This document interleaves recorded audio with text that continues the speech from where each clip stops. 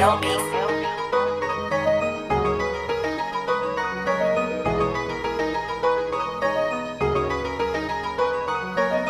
to the hotel. Choose an elevator.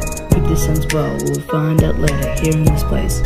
We feel the embrace of all the evil inside and the beings we'll face. Now the doors are closing. What are we gonna do?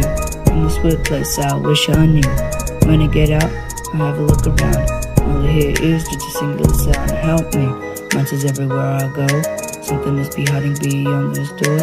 Just a little creepy, just a little scared. A tiny bit sleepy, but yet prepared.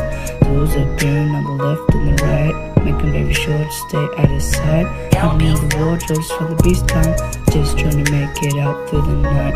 Welcome to the hotel. Choose an elevator. If this ends well, we'll find out later. Here in this place, we feel the embrace of all the evil inside and the beings we face.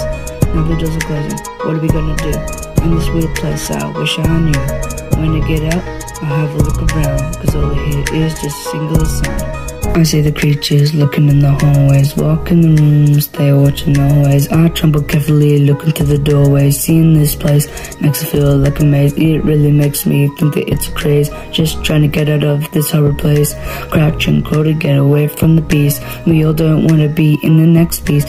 It's the best idea to hide from rush. If you're not in a wardrobe, then he'll crush. You better try not to get fried by cause if you stay there too long, yeah, you know you have to die. Screech is the worst, I don't know what he would He has a slick, dripping face, and it'll leave without a trace at a very fast pace. It'll fill you with grace till it leads you into another sea chase. Welcome to the hotel. Choose an elevator. Hope this ends well. We'll find out later. Here in this place, we feel the embrace of all the evil inside and the beings we'll face. Now the doors are closing. What are we gonna do? In this workplace, I wish I knew.